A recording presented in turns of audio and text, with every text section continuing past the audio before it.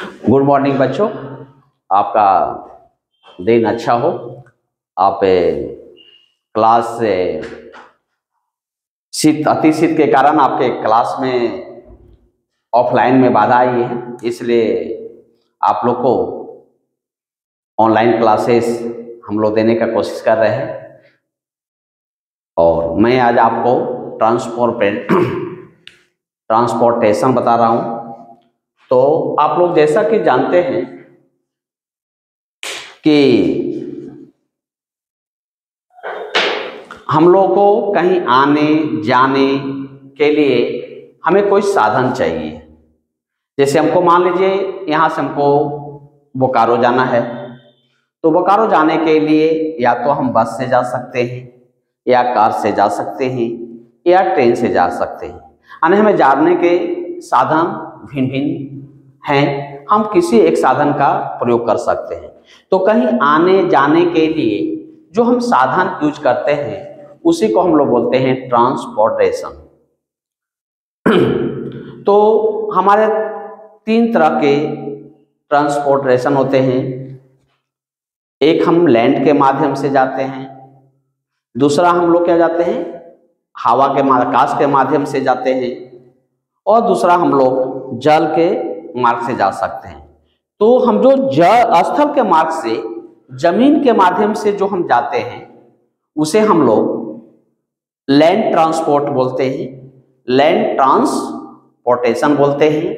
Land के माध्यम से जो जाते हैं लैंड ट्रांसपोर्ट इसके बाद जो हम आकाश के माध्यम से जाते हैं तो उसको हम लोग बोलते हैं एयर ट्रांसपोर्ट इसके बाद हम कहीं आ जा सकते हैं पानी के माध्यम से। सी के माध्यम से, वाटर के माध्यम से जाते हैं तो उसको हम लोग बोलते हैं वाटर ट्रांसपोर्ट। जैसे अब मैं आप लोग को बताना जा रहा हूँ कि जो स्थल से हम किन किन माध्यम, स्थल के माध्यम से जाने आपको बताया, पूछा जाए कि स्थल के माध्यम से हम लोग कहीं आते जाते हैं, वैसे स्थल से जाने वाले तीन ट्रांसपोर्ट का नाम बताएँ। तो हम लोग बता सकते हैं, बस ऑटो, कार, ये हमारे स्थल से जाने वाले भाग है। उसमें हमारा ट्रेन भी है, ट्रेन से भी हम जा सकते हैं। तो इस तरह से स्थल से जो वह ट्रांसपोर्ट जो भूमि से भूमि पर चलता हो, स्थल पर चलता हो तो स्थल पर चलने वाले गाँवों में देखते होंगे कि ब्लॉक कार्ट्स बैलगाड़ी, आपका ब्लॉक कार्ट्स रिक्शा, टांगा ये सारे आप लोग गाँव में चलते हुए देखे होंगे। तो ये विलेज में आने जाने का ये साधन है। तो विलेज ट्रांसपोर्ट इसको हम कहेंगे। इसके बाद आप शहरों में कार ट्रेन बस इत्यादि चलते हुए देखेंगे। तो ये सारा भी हमारा क्या है? लैंड ट्रांसपोर्ट है। यानी जो ट्रांसपोर्ट लैंड से होकर जा रहा है, उसको हम लोग लैंड ट्रांसपोर्ट के नाम से जानते हैं। इसके बाद आप देखेंगे कि हमें लॉन्ग डिस्टेंस जाना है और बहुत जल्दी जाना है, समय को बचाना है। तो इसके बचाने के लिए हम आप लोग को एरोप्लेन या हेलीकॉप्टर का यूज़ करते हैं, जो आकाश मार्ग से एक जगह से दूसरे जगह जाता है। तो ऐसे ट्रांसपोर्ट को हम लोग कहते हैं एयर ट्रांसपोर्ट कहते हैं, जो आकाश मार्ग से हमें एक जगह से दूसरे जगह ले जाता है। तो हेलीकॉप्टर और एरोप्लेन आपका एयर ट्रांसपोर्ट के नाम से जाना जाता है। इसके बाद हम लोग देखते हैं कि हम लोग एक देश से दूसरे देश में सामान को ले जाते हैं, ले आते हैं। या तो उसके लिए क्या करते हैं? हम लोग सी, पानी का यूज़ करते हैं। तो पानी पर चलने वाले जो हमारा ट्रांसपोर्ट है, वो हैं सीप हैं, स्ट्रीमर है, ये जो दो हमारे जो साधन हैं, उसको हम लोग वाटर ट्रांसपोर्ट कहते हैं। हम एक देश से दूसरे देश में से तेल मंगाते हैं। हमारे देश में तेल कम होता है, जितना हमको उपयोग करते हैं, उतना हमारे देश में पर्याप्त तेल नहीं है।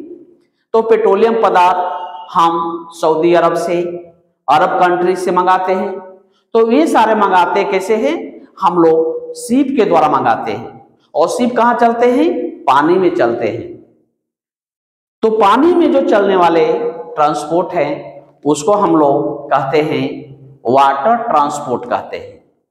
ये तीन माध्यमों हमारे पास मौजूद हैं और इन्हीं माध्यमों से हम कहीं आते जाते, हम यात्रा करते हैं, सफ़र करते हैं।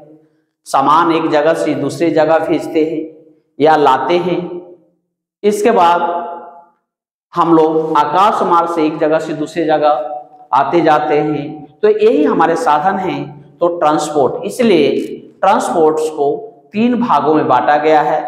Land transport for example bus rail ये सारे हमारे लैंड ट्रांसपोर्ट्स हैं।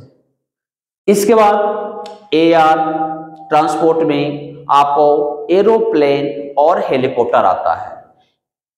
इसके बाद वाटर ट्रांसपोर्ट है, जो हमारे शिप हैं, स्टीमर हैं, बोट हैं। इसके माध्यम से हम लोग एक जगह से दूसरे जगह जाते हैं, सामान भेजते हैं, सामान लेते हैं, लाते हैं। इन्हें हम लोग वाटर ट्रांसपोर्ट के नाम से जानते हैं। तो प्यारे बच्चों, मैं आप लोग को पर विश्वास करता हूँ, समझ रहा हूँ मैं कि आप समझ गए होंगे और आप लोग को और जो प्रॉब्लम हो गए, जो ये होंगे ट्रांसपोर्ट चैप्टर में होंगे, आप इसे पढ़ेंगे, इसका प्रश्न उत्तर को बनाएँगे fill in the blanks tick marks हैं, उन्हें बनाएँगे और आप इन्हें ग्रुप में सेंड करेंगे। धन्यवाद। आपका दिन मंगलमय हो।